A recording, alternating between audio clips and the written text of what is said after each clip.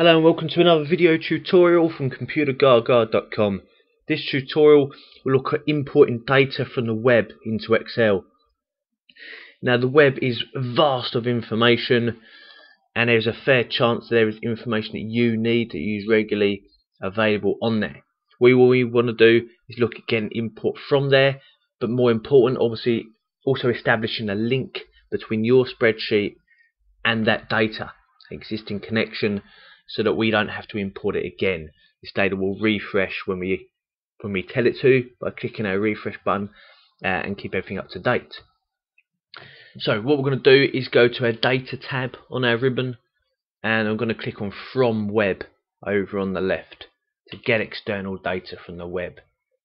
And this will open up a new web query uh, asking me for an address and I'm going to go to a website.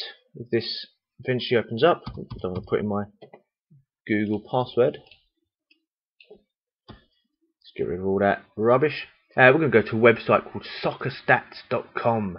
Now, being a big football fan or a big soccer fan, I love this site. Full of good information, good stats uh, on football leagues around the world. So let's expand this by double clicking the title bar, maximize I should say. Now this is it, look at this. Loads of football leagues around the world along the top. Uh, whether it's my home country, England, or got the Spanish, the French, the German, the Brazilian, all over the place. Uh, loads of statistics on screen about what's happening right now. Uh, the Confederations Cup. Um, superb. What we want to do uh, is thought we'd get in the top goal scorers from Spain's La Liga.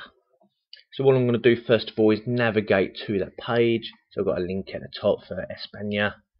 Just give that a click.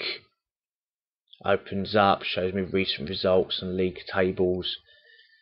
Uh, but then select stats. Let's go for this drop down list. Oh, I want the scorers table. And that will hopefully open up the scorers table Ah, here we go, fantastic. To see loads of fresh information, I absolutely love it. um, more importantly, back to Excel, the bits of information we can extract from this page are shown by these yellow boxes. Uh, and as I hover over them, it shows me what they're looking at extracting. So, you know, we can get the whole page, we can get these certain aspects from it, like this advert and this flag. Um, obviously this one here is what I'm after. I want this table. So I'm going to give that box a click. So I'll say that I want that bit and then click import in the bottom right. This should prompt me for one more bit of information asking me where I want to put it. Equal sign indicating it's going to create a connection. It's going to establish a link here. If I click OK, it will import that information. Data is now in Excel so all our kind of Excel skills, if you want to apply conditional formatting or sort and filter the data, you know, everything is, you know, the world is our oyster because we love Excel and Excel is extremely powerful analytics and working with statistics. Now it's quite often that imports don't work quite so kind of fresh and quite so neat. And we can see here the goals column didn't quite align up. Uh, so all I'm going to do is select that goals heading drag it across to the right and delete that column. But bear in mind that um, resize that as well. And we're fixed. Doesn't take two seconds. Uh, but yeah bear in mind that every time we refresh this that same mistake is going to happen. We'll have to repeat ourselves. So you know recording macros creating macros um, after data imports is probably the or at least one of the most Popular reasons for using a macro to tidy up imported data data sent to you from a client. Um, and this is a typical example. It's nothing difficult, but doing it every single time, we, we can incorporate that into a macro, refresh it, shift over goals, delete the column, resize the goals column each time.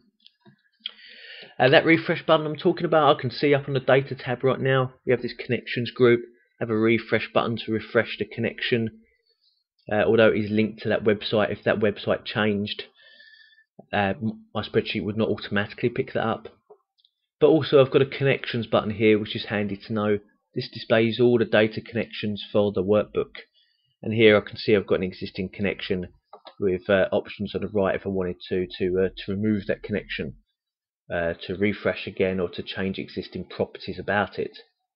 Uh, clicking on that properties button I can see that if I wish to I could change the refresh uh, kind of timing so I could ask it to refresh automatically every every 30 minutes or just to refresh when I open the spreadsheet but not whilst I'm using it. So there are extra options available there uh, but most importantly there is a data connection in place so it will refresh, it will update uh, and also that importing data from the internet is, is easy really. Um, depending on what you're importing you may not have an option there for you. It depends how that web page was constructed but here is a typical example where it, it's a pretty beautiful import. Uh, apart from the kind of goals column, I don't think there's any other issues at the moment on there. Uh, apart from maybe a little bit of formatting to tidy it up. Fantastic stuff. Uh, thank you for watching. I hope you enjoyed this tutorial. Please check out some more other tips and tutorials at computergaga.com.